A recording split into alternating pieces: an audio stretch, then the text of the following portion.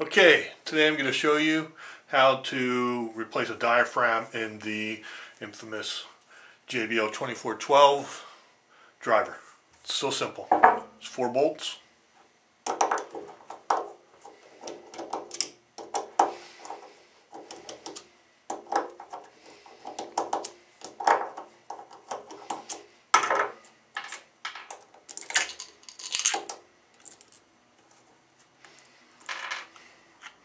And pop this off.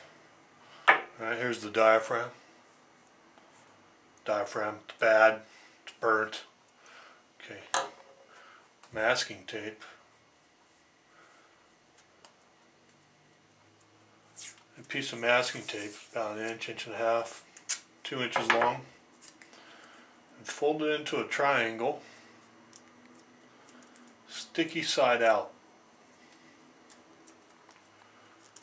Alright. I'm going to use this to clean the voice coil gap.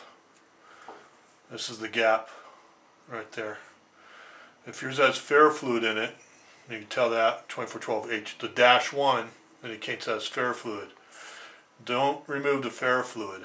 Just put the tape in there far enough to get any debris, any of the burnt stuff out try not to remove the ferrofluid. Oops. Ferrofluid's expensive. You can find it on eBay, but it's not cheap. Alright. Little debris right there.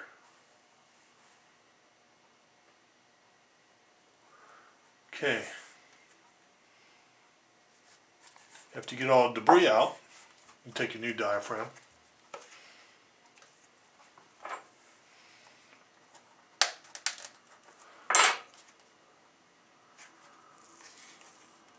There's the new diaphragm, right?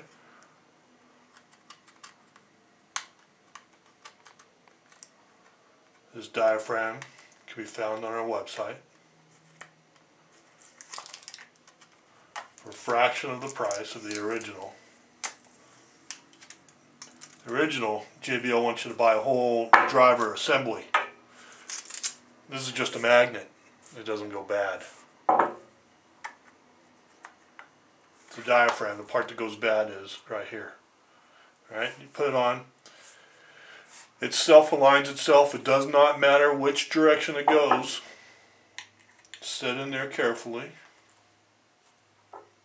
your phase plug back on.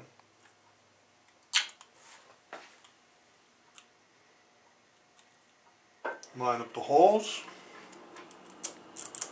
Four bolts.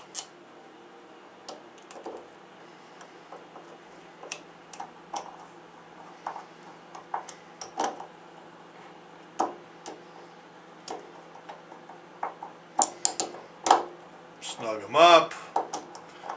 And you know, you want them snug, but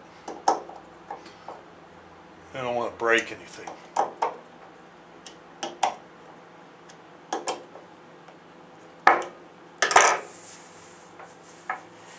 That's it.